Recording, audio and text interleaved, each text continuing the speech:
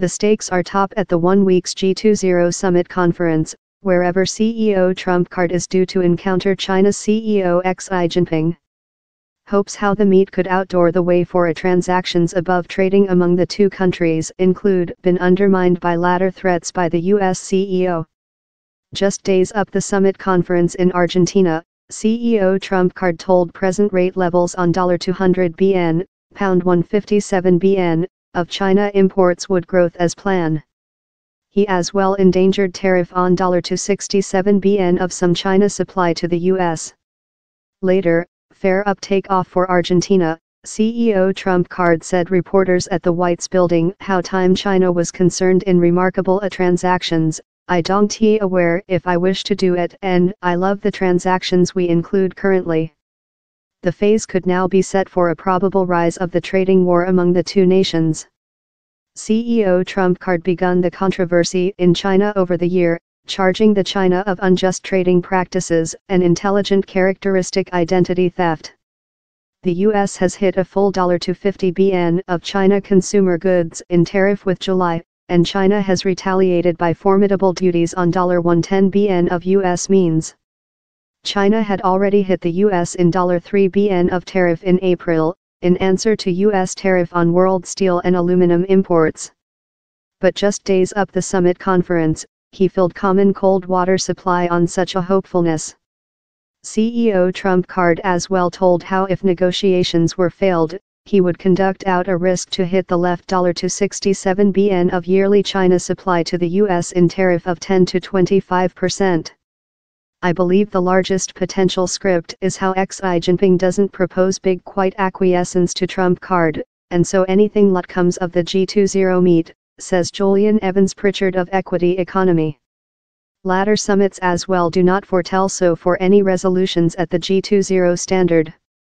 I believe sadly, the US and China stay rather far separately in the issues over the trading dispute, so we are not too upbeat, says Valerie Mercer Blackman, elder political economist at the Asia Growth Banking, fail to accept on the official report at the APEC meet, as well suggests how down there is rather significant range among the two sides, and down there doesn't appear to be a particular suggestion on the spreadsheet yet to end the deadlock.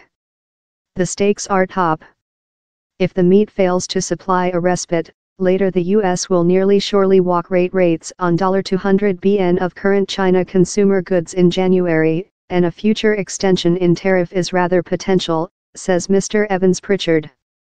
A growth in such tariff would see lot multi-ethnic firms speed their plans to go delivery chains off of China. Time tariff on further China imports would present a considerable policy and economical hazard for Trump card, says Michael Hirson, Asia CEO at Eurasia Team. Left U.S. imports of China are more than hard inclined to customer items. Us households, particularly such of reduced revenue brackets, will sense the effect more than rather than they include above tariff on early rounds, he adds. The is since China's current 113 BN tariff on U.S. consumer goods are not far of the 130 BN it imported of the U.S. in 2017.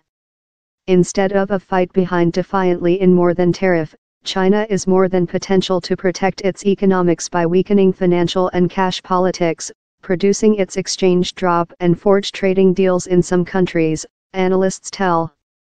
China's policy to trump card will favor elasticity above retribution, Mr. Hirson says.